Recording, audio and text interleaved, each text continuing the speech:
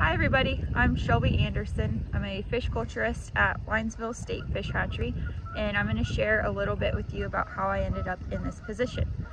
From an early age, I had a strong passion for the outdoors and the water thanks to my dad.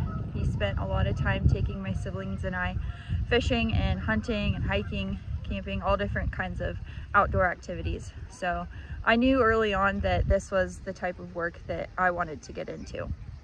Um, to set myself up for getting a career in this field, I reached out to different fish biologists in my area and asked them if there were any activities that they needed help on or any other volunteer opportunities that I could get in on.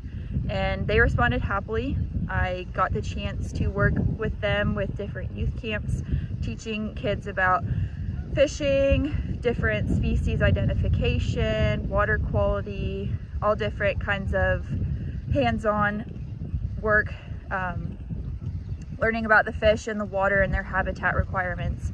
So that was really awesome and that volunteer experience alone really looked good and helped me get this position. But to further my education, I enrolled in a fisheries management and conservation program and I've been working on that. I'm a senior now, I'll be graduating this summer, but the courses that I'm taking in that program have been very applicable to what I do every day.